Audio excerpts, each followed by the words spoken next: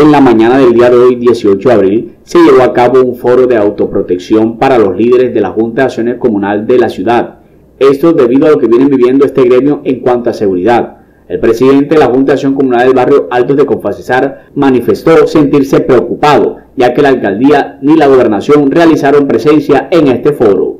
Estamos acá en estos momentos en el auditorio de la policía, en el comando central, donde ellos preocupados por la situación de orden público que estamos viviendo, sobre todo de inseguridad en la integridad personal de los líderes sociales de comuna, eh, nos invitaron a un foro de autoprotección, pero estamos denunciando prácticamente el desdén de las entidades de verdad gubernamentales que les compete esta situación, como es la alcaldía y la gobernación, donde hay ausencia de todos ellos.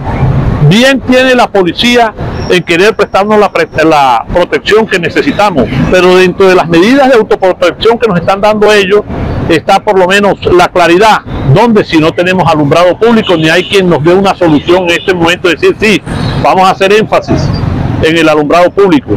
Lotes montados para que no se escondan las delincuencias que van a atentar contra nosotros, como le pasó al compañero que en paz descanse. No tenemos que dar una solución sobre eso. Entonces, queremos resaltar eso. Queremos algo que sea de verdad, verdad, integral, que garantice la seguridad de los líderes sociales.